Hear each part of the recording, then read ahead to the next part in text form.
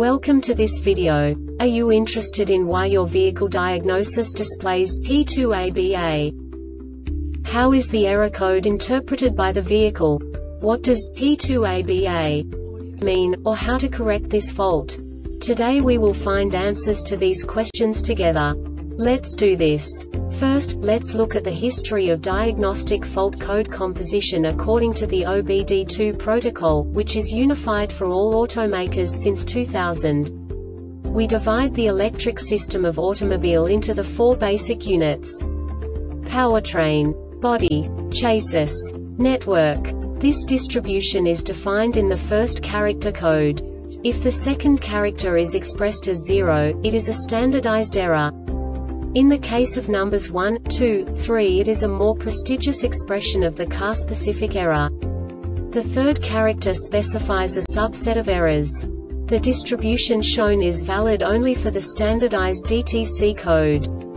Only the last two characters define the specific fault of the group. Let's not forget that such a division is valid only if the other character code is expressed by the number 0. Our website airbagreset.sk produces useful videos for you. You do not have to go through the OBD2 protocol anymore to know how to troubleshoot any car breakdown.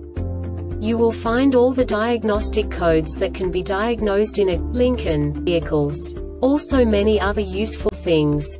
The following demonstration will help you look into the world of software for car control units. You unbelievably can move the video a bit further. The error code is split into two bytes consisting of 16 bits. One bit is the basic unit that each computer works with. The bit has two logical states.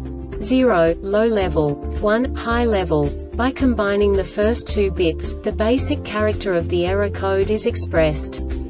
The next two beats again determine the second character. The last beat styles of the first byte define the third character of the code. The second byte is composed of a combination of 8 bits. The first 4 bits determine the fourth character of the code. And the combination of the last 4 bits defines the fifth character. A single byte conceals 256 possible combinations. We now know in what way the diagnostic tool translates the received information into a more comprehensible format. The number itself does not make sense to us if we cannot assign information about it to what it actually expresses.